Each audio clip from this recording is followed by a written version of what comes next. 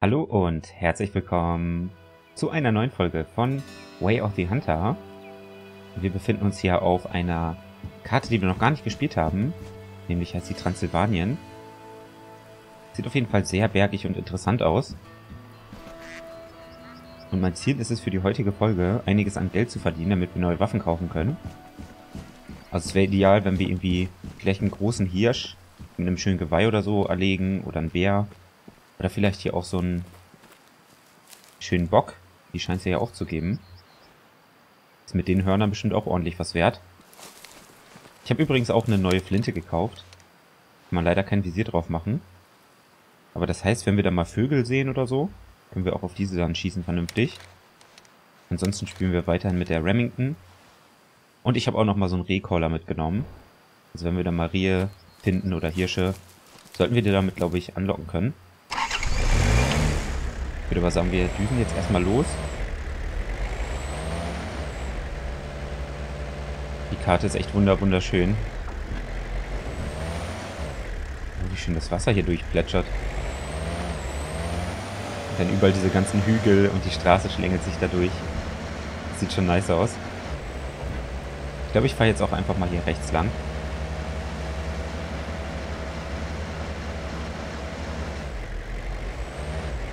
Kann ja gleich mal da oben auf dem Hügel kurz anhalten und dann schauen wir uns mal um, ob wir da was sehen. Also ich habe bis jetzt noch nichts gefunden an Tieren. Aber hier ist so ein Fragezeichen, da wollte ich jetzt gerne mal hinfahren. Das Fragezeichen müsste ja irgendwo hier sein. Eher weiter links. Ich steig mal kurz aus. Eigentlich genau vor uns. Leute, da unten sind Tiere. Ich habe eine Herde Wildschweine entdeckt. Suchen wir uns am besten jetzt gleich ein schönes Männchen raus. Oben rechts seht ihr dann immer die Bewertung und so. Versuche aber noch ein bisschen näher ranzukommen. Das ist nämlich auch so ein Jägerstand. Klettern wir jetzt einfach mal hoch.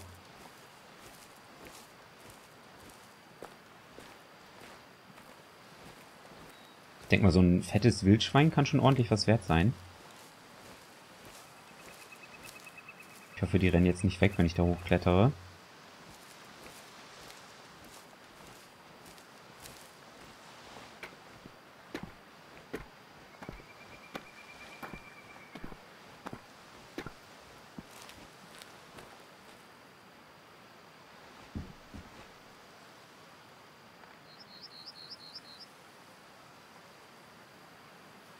Gibt es aber keine Zwei-Sterne-Dinger, glaube ich. Ein Jungtier. Ja, Jungtiere sollte ich, glaube ich, gar nicht abschießen, weil die haben keine Bewertung. Vermutlich eher das Männchen hier. Nehmen wir das doch. Wir haben leider gerade nicht so den besten Schuss. Weil es halt mit dem Rücken zu uns steht. Also das hier könnte ich besser abschießen. Aber das war, glaube ich, ein Weibchen, ne?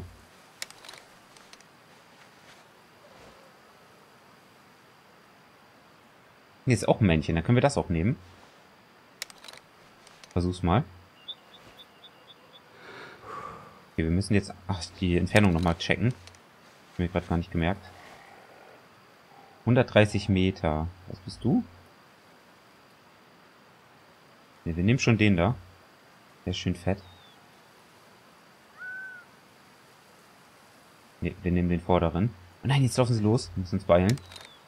Zero mal auf 150 Meter dann.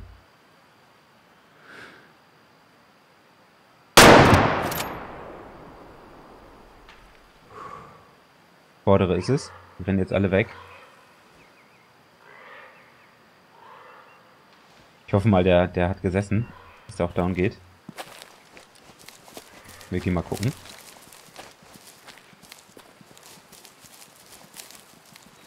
Muss natürlich jetzt auch vorsichtig sein, weil Wildschweine können auch sehr aggressiv werden.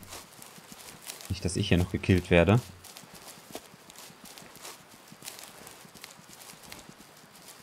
So, wo war jetzt der Hit? Da tue ich mich echt immer noch schwer, das zu finden. Wildente gibt's ja auch. Oha.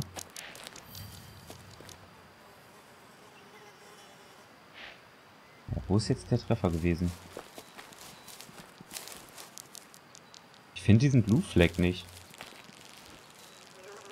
Ich habe keinen Plan. Muss irgendwo hier gewesen sein. Aber in dem Spiel tue ich mich da immer echt schwer, so Blutflecken zu finden. Ich weiß aber schon mal, dass hier Enten und Gänse sind. Also das heißt, wir könnten vielleicht nachher auch noch auf Vögel schießen.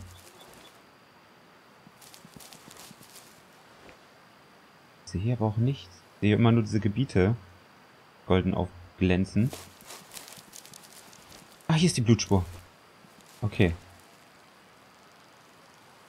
Das heißt, dann verfolgen wir die mal. Dann sieht das halt echt immer sehr schlecht.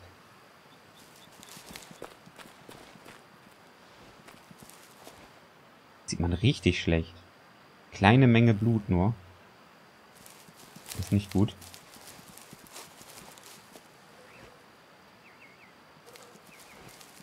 Egal, wir laufen jetzt einfach mal in die Richtung. Ich mit den Spuren, das ist keine Ahnung. Da bräuchte ich echt eure Tipps in den Kommentaren, wie man das am besten macht. Ich verliere die so schnell aus den Augen und das dauert halt auch immer alles ewig. Bis man die spottet, die Sachen. Die Wildschweine sind halt jetzt schon über alle Berge. Viel steht fest. Ich weiß halt auch nicht, ob es down gegangen ist oder nicht.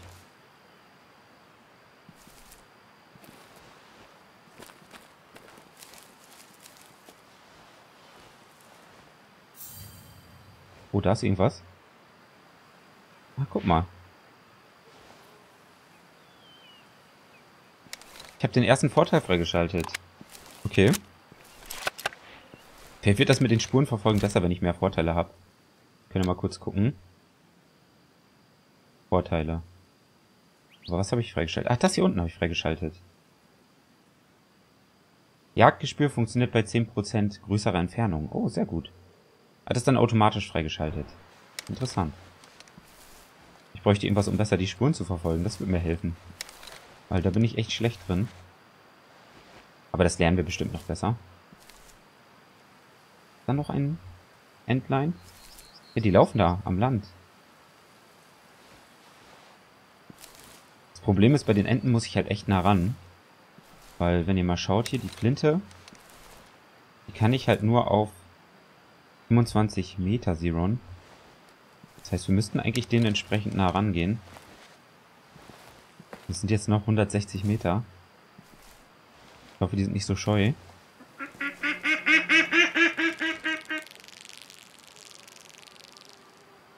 Oh, und jetzt zwei Sterne.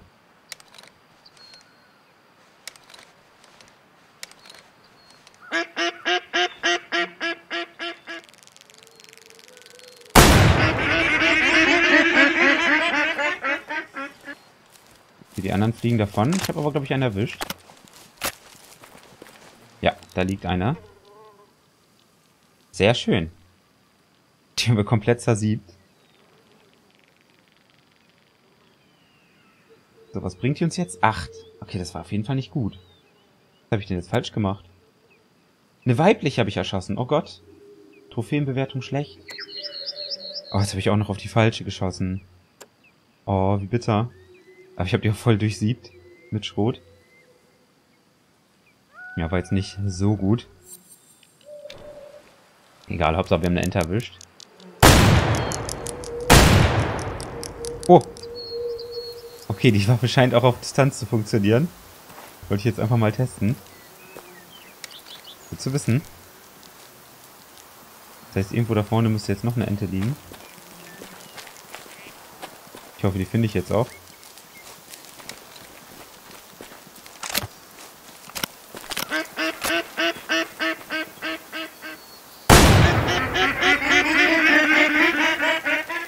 Okay.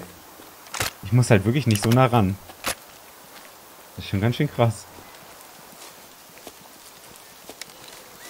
Die kann man auch easy so vom Himmel holen. Aber ich wollte jetzt auch nicht das, die ganze Herde ausrotten. Ach guck mal, das sieht man sogar richtig gut in der Jagdsicht, wenn ein totes Tier ist, glaube ich. Ja, das ist ein Erpel. Sehr schön.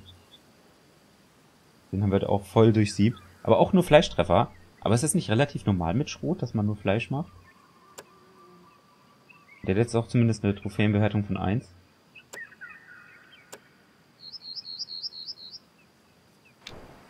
Nehmen wir mit. Ist aber halt auch nicht viel wert, ne? Ich finde halt jetzt die andere Ente schon wieder nicht.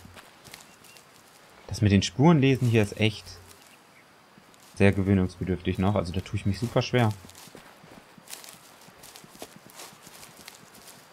Ihm wahrscheinlich da echt falsch zu machen. Ich kann jetzt halt hier nur ungefähr rumlaufen, wo ich gesehen habe, wo sie abgestürzt ist und halt mit dieser Sicht gucken.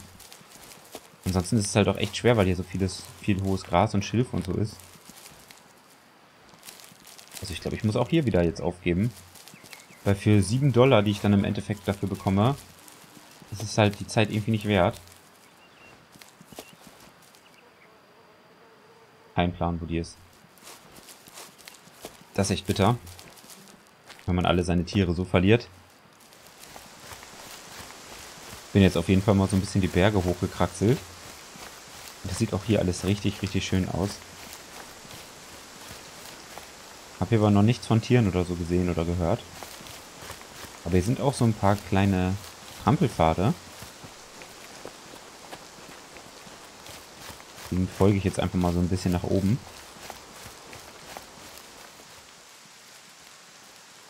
Oh, liegt hier Kot? Tatsächlich. Wildschweinspuren sind hier. Das erste Lebenszeichen seit Ewigkeiten.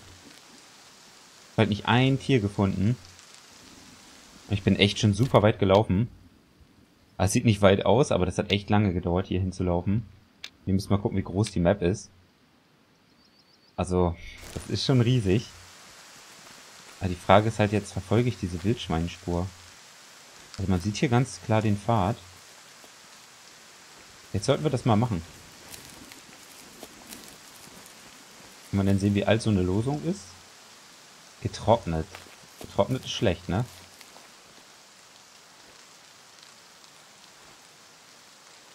Wir folgen einfach mal den Trampelpfad hier. Ich glaube, man muss in dem Spiel echt mehr mit diesen Pfaden arbeiten. Ich verlasse mich da, glaube ich, immer zu viel auf so Fußspuren oder so. Aber ich glaube, ich muss echt mehr gucken, wo halt diese Schneisen sind. Ich glaube, daran sieht man das immer ganz gut. Oh, da sind sie. Das ist jetzt richtig gut. Oh, wie viele das sind. Jetzt auf jeden Fall eins mit einer guten Bewertung haben eigentlich. Hätte gerne einen Crawler, dass ich die zu mir locken könnte.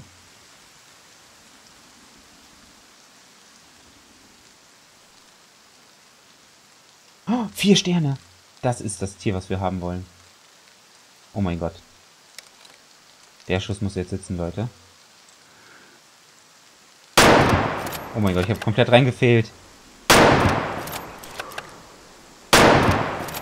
Ich habe komplett reingeschissen. So ein Mist.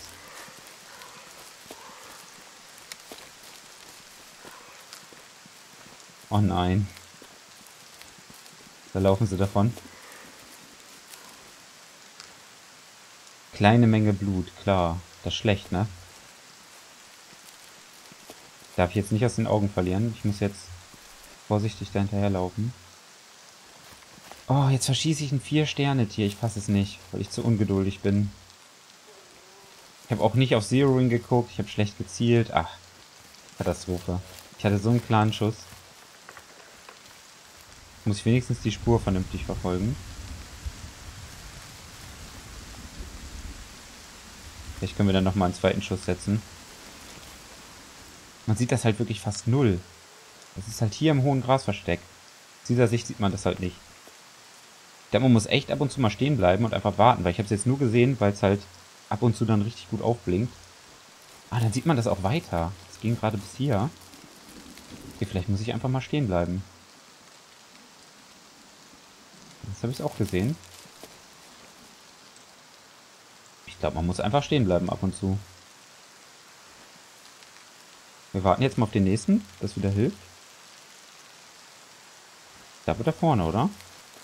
Also es scheint echt viel Blut zu verlieren. Irgendwann müsste es doch auch mal aufhören zu bluten. Ich denke mir jetzt über so eine offene Fläche kann ich dann auch ein bisschen schneller den Spuren folgen. Dann sieht man die wenigstens auch ein bisschen. Ist halt nur so im dichten Wald, wo viel auf dem Boden und so rumliegt. Da sieht man das halt gar nicht mit den Spuren. Ja, da sieht man die Spur wieder ganz gut. Ich hatte die Wildschweinherde noch eine ganze Weile verfolgt, aber habe sie dann leider aus den Augen verloren und habe dann irgendwann aufgegeben. Dann von der Pause gemacht und jetzt mich wieder eingeloggt. Und jetzt sind einfach hier direkt vor der Haustür quasi Wildschweine. Da müssen wir mal uns ein bisschen heranznieken. Ich da nochmal mein Glück versuchen. Also bis jetzt finde ich das Spiel um einiges schwieriger als die Hunter. Aber das kann auch daran liegen, dass ich halt noch nicht so erfahren bin. Ich stelle mich wirklich an der einen oder anderen Stelle ein bisschen doof an. Aber ich glaube, es ist ganz normal, wenn man ein neues Spiel spielt. So ein paar Fails und so gehören dann auch dazu. Daraus lernt man ja auch. Und das viele. Oh, jetzt haben wir, glaube ich, eine gute Sicht. Ja, das ist es. Drei Sterne. Also das Dunkle da. 100 Meter ziemlich genau. Dann zeroen wir mal die Waffe auf 100 Meter. Dürfte der hier sein. Jetzt läuft der natürlich.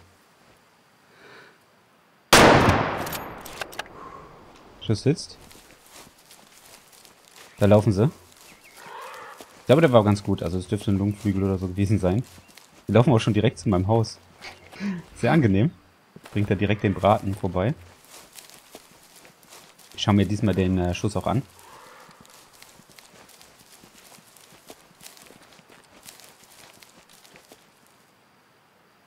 Mittlere Menge Blut. Ja, ich hoffe, der geht down. Ansonsten gebe ich für heute auf. Wäre auf jeden Fall sehr, sehr schön, jetzt nochmal so ein Erfolgserlebnis zu haben. Aber guck mal, das sind doch schon mal dicke Flatschen hier. Ist auf jeden Fall mehr als beim letzten Mal. Und hier kann man die auch ein bisschen besser verfolgen. Hier hebt sich das Rot ein bisschen besser ab vom Boden.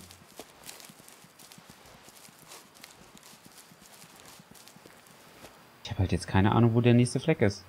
Und wenn ich mich jetzt umdrehe und den alten suche, dann finde ich den halt auch ah, wieder nur ganz leicht und schwer mit der Sicht. Ich glaube, ich bin da einfach zu ungeduldig für. Oder ich mache halt irgendwas falsch. Also ihr müsst mir echt in den Kommentaren helfen. Aber ich finde das wirklich frustrierend. Das ist bei The Hunter deutlich besser gelöst. Weil das da alles ein bisschen schneller und dynamischer ist. Weil jetzt stehe ich hier wieder, bin in die richtige Richtung gegangen und sehe nichts. Und die Sicht hilft mir auch nicht.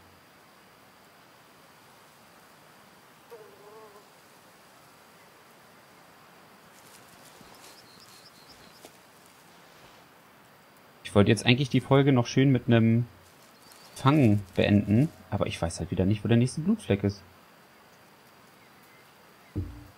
Es ist einfach zum Mäusemelken. Kann es doch nicht sein. Und jetzt findet man halt auch wieder den anderen Fleck nicht vernünftig. Also das müssen die echt besser hervorheben. Das ist mir jetzt schon ein bisschen zu schwierig, so wie es jetzt ist. Ich renne jetzt einfach mal den Berg da hoch und dann... Keine Ahnung, wenn wir dann dort nichts sehen oder finden, dann ist es halt so. Dann werden wir die Folge jetzt mit einer Frustration beenden. Man machen nichts. Dann muss ich erstmal eure Tipps oder so lesen. Aber ich habe ja auch die Wildschweine gesehen, wie sie hier hochgelaufen sind. Aber mit den Spuren komme ich einfach nicht klar in diesem Spiel.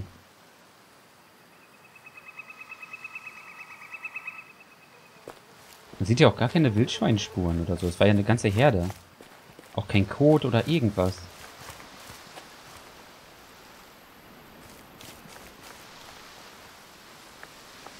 Ich würde mal sagen, das Wildschwein wird wahrscheinlich irgendwo rumliegen oder es lebt noch und es entkommt. Das werde ich wohl nie rausfinden. Ja, Leute, ich habe es jetzt aufgegeben. Aber ihr könnt ja dann, wie gesagt, gerne Tipps und so in die Kommentare schreiben, wenn ihr euch da ein bisschen besser auskennt. Ich tue mich bei dem Spiel echt noch ein bisschen schwer, was die Spuren angeht. Und ja, es ist halt schon anstrengend, das zu verfolgen, die Spuren. Man muss dann immer wieder ständig umdrehen, dann muss man die Spur von vorher wieder suchen, weil die auch nicht auf der Karte markiert ist oder sowas. Und das macht das Spielen einfach frustrierend. Also es ist wirklich frustrierend, das kann man nicht anders sagen. Aber ansonsten das Gameplay und das Spiel sieht auch wunderschön aus. Das macht schon alles richtig, richtig Spaß. Das Einzige, was ich halt doof finde momentan noch, ist das mit den Spuren. Aber vielleicht habt ihr da ja eine Lösung oder so. Ich würde mich aber trotzdem über ein Like freuen und wünsche euch jetzt noch einen angenehmen Tag. Macht's gut, haut rein. Euer Dandy.